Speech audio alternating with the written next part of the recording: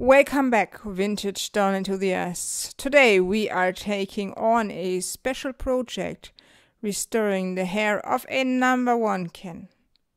Our Ken has lost all his hair, but we are going to give him a fresh new look by reflocking his head with new hair. Let's get started. I'm Busy from Germany and this is my little channel.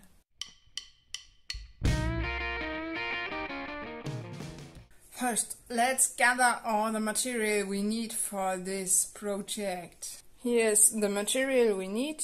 We have here our Ken without hair, our pencil, my glue, my acrylic paint, my flocking material, my applicator, my paintbrush and my palette.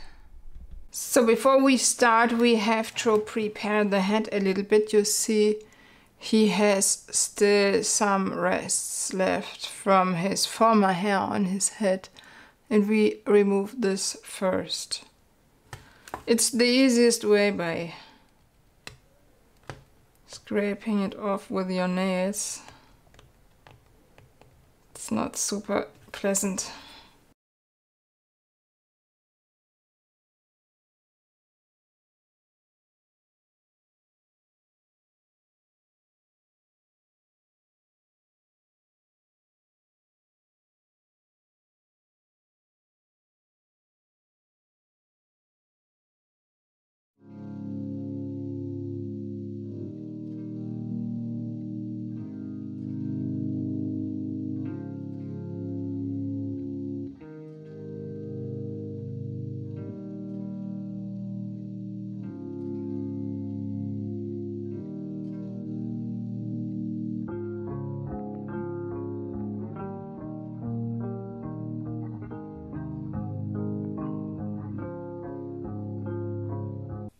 If you want to understand the difference between a 1961 and a 1962 version of the flocked hair Ken, please have a look at my shorts video which I'm going to link you above. For getting the last pieces of hair off, I use scouring cream and it was a very very fast method. So the last time I did this, I found it very helpful to do this first. Put the flocking fibers in my applicator with this little sheet of paper. Let's start by mixing glue and color together, but I have to add a little bit of water here.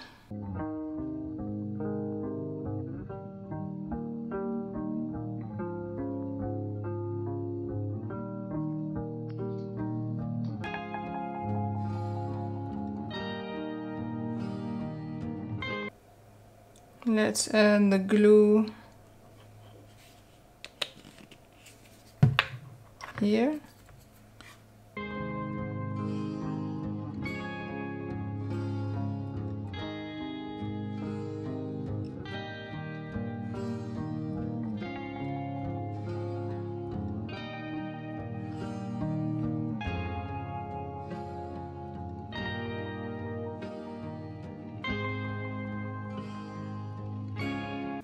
And then we paint on his head.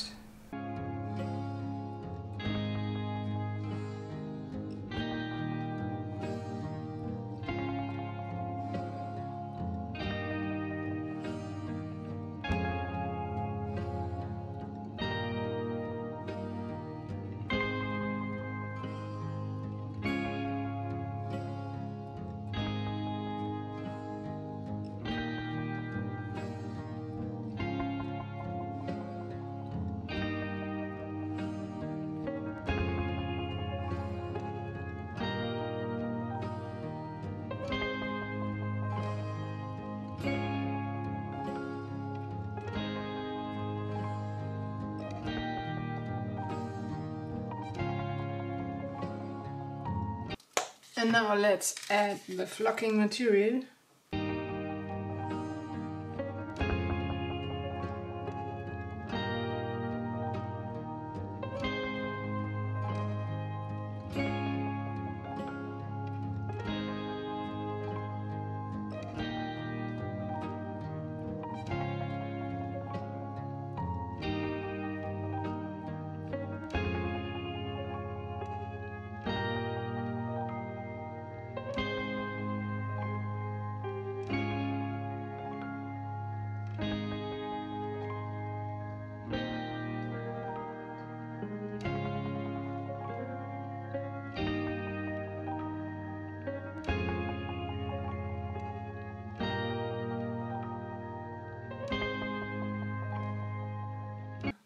Let's let him dry.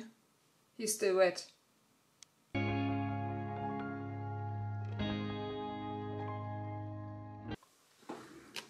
Here's a little bonus tip for you.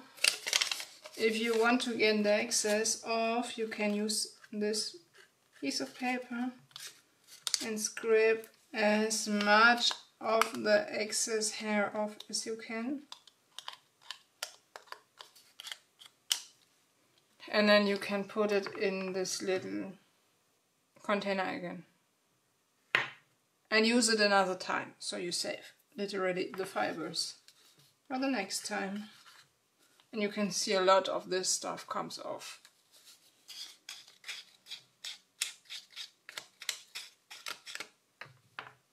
If you see excess paint somewhere you can remove it by scraping it away with a needle.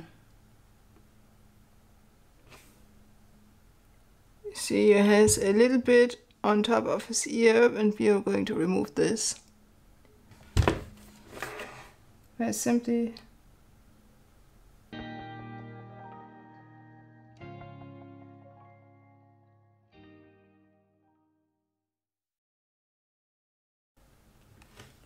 scraping it away so that you have a clean head afterwards.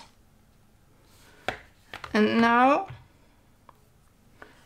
I still need to do some repainting because his his eyebrow is um, damaged and I want to retouch the eyebrow here a little bit and I've already prepared my wet palette for this.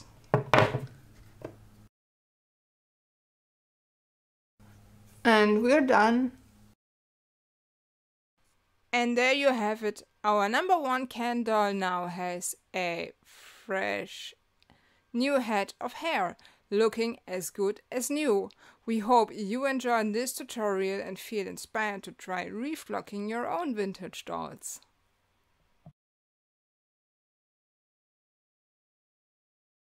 Don't forget to like, share and subscribe for more restoration tips and projects. Thanks for watching. Here's a little tip if you have painted somewhere where you don't want to paint. Just remove the excess paint with a needle after it's dried.